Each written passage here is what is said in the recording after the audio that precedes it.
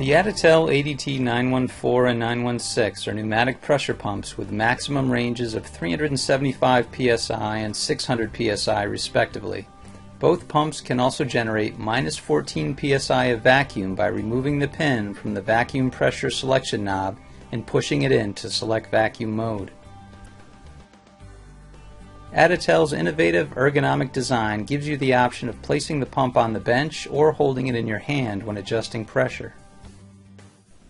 All Additel pneumatic pressure pumps include two hand-tight NPT or BSP quick connections that do not require any tools or thread sealant for leak-tight operation.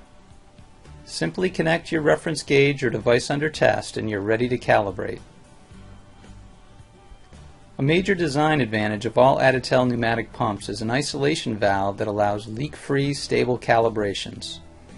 Most pneumatic pumps in the market have non-returning or check valves that allow pressure to be built up in the test volume. These valves are often prone to leakage as seals wear.